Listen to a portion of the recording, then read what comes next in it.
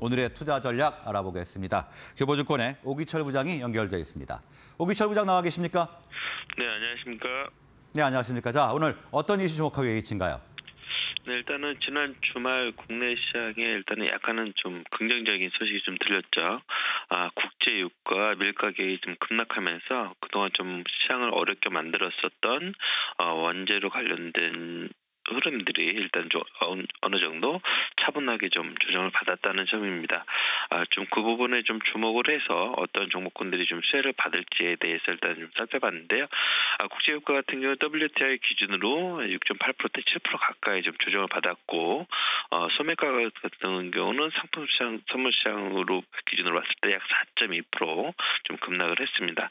아, 이러한 소식은 미국의 바이든 대통령이 아, 국 국방 물자에 대한 생산법을 발동을 하겠다는 그런 소식들이 좀 돌려왔고 러시아 푸틴 대통령 같은 경우는 아, 군사 작전 이후에 광고 관계 회복을 위해서 노력하고 비료와 곡물 등의 수출을 늘릴 것이라는 언급된 소식이 때 나오면서 아, 유가와 곡물 가격들의 조정이 좀 나타났습니다. 아, 그런 흐름들이 일단은 어, 시장에 좀 영향을 미쳤고요. 그리고 국내에서도 보게 되면 아, 물가 대란이 계속해서 좀 나타나자 국내 유류세가 다음 달에 약 37% 정도 좀 인한다는 소식도 나왔기 때문에 이런 부분에 좀 초점을 맞춰서 일단은 좀 주목을 해봐야 될 것 같습니다.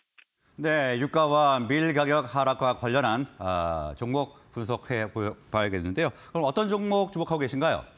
예, 오늘 음식료 중에서 이제 삼양식품과 하이트 진로에 대해서 일단은 좀 말씀을 드릴 텐데요.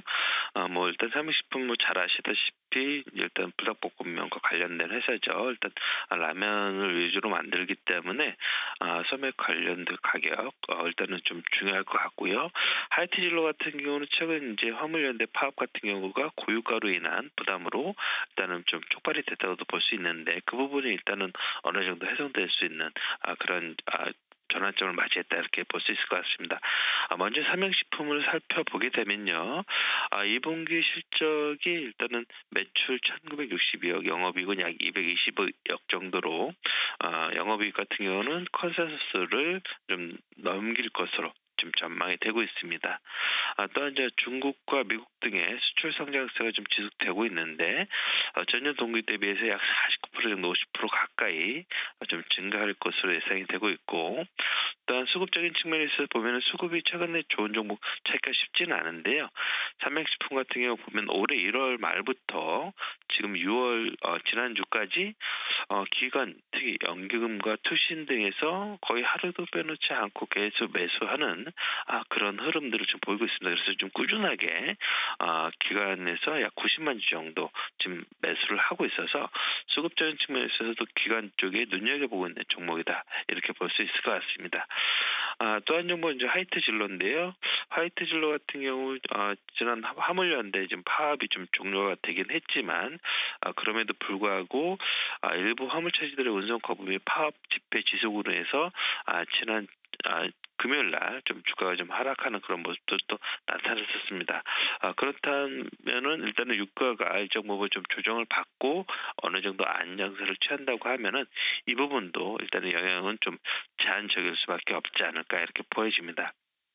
또한 실적인 측면에서 본다 그러면 가격 인상 효과 등 2분기 실적이 좀 긍정적으로 나타날 것으로 예상이 되고 있어서 실적적인 측면도 상당히 좀 주목을 해보셔야 될 것 같고요. 앞서 상식식품은 기관이 좀 주목을 했다 그러면 하이트 진로 같은 경우는 외국인들이 상당히 좀 주목하는 종목입니다. 외국인들의 1월 말 지분이 약 4.1%였는데 아, 지난 17일 아, 기준으로 해서 약 10.5%로 지분이 약 6%대 이상 증가하는 그런 모습을 보였습니다. 뭐, 뭐 아, 매수 가격도 지금 현재 가격보다는 약 10%대 이상에서 높게 샀기 때문에 가격상으로도 좀 크게 부담 없는 자리에 있어서 아, 삼양식품과 오늘 하이트진로 좀 주목해 봐주셔야 될 것 같습니다. 네, 삼양식품과 하이트진로 관심 종목으로 분석을 해봤습니다. 오늘 말씀 고맙습니다. 네, 감사합니다.